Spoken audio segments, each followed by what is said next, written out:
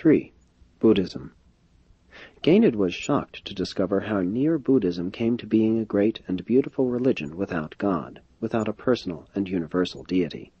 However, he did find some record of certain earlier beliefs which reflected something of the influence of the teachings of the Melchizedek missionaries who continued their work in India even to the times of Buddha. Jesus and Ganid collected the following statements from the Buddhist literature. Out of a pure heart shall gladness spring forth to the infinite. All my being shall be at peace with this supermortal rejoicing. My soul is filled with content, and my heart overflows with the bliss of peaceful trust. I have no fear. I am free from anxiety. I dwell in security, and my enemies cannot harm me. I am satisfied with the fruits of my confidence. I have found the approach to the immortal easy of access. I pray for faith to sustain me on the long journey. I know that faith from beyond will not fail me. I know my brethren will prosper if they become imbued with the faith of the immortal, even the faith that creates modesty, uprightness, wisdom, courage, knowledge, and perseverance. Let us forsake sorrow and disown fear. By faith let us lay hold upon true righteousness and genuine manliness. Let us learn to meditate on justice and mercy. Faith is man's true wealth. It is the endowment of virtue and glory. Unrighteousness is contemptible. Sin is despicable. Evil is degrading, whether held in thought or wrought out in deeds. Pain and sorrow follow in the path of evil, as the dust follows the wind. Happiness and peace of mind follow pure thinking and virtuous living, as the shadow follows the substance of material things. Evil is the fruit of wrongly directed thinking. It is evil to see sin where there is no sin, to see no sin where there is sin. Evil is the path of false doctrines. Those who avoid evil by seeing things as they are gain joy by thus embracing the truth. Make an end of your misery by loathing sin. When you look up to the Noble One, turn away from sin with a whole heart. Make no apology for evil, make no excuse for sin. By your efforts to make amends for past sins, you acquire strength to resist future tendencies thereto. Restraint is born of repentance.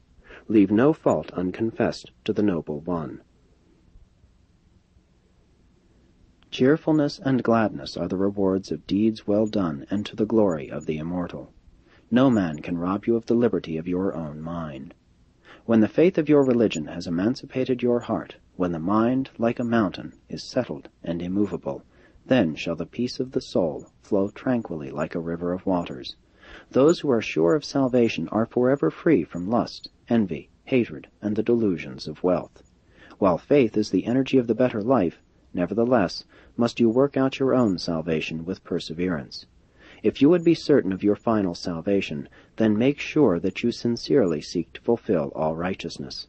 Cultivate the assurance of the heart which springs from within, and thus come to enjoy the ecstasy of eternal salvation. No religionist may hope to attain the enlightenment of immortal wisdom who persists in being slothful, indolent, feeble, idle, shameless, and selfish.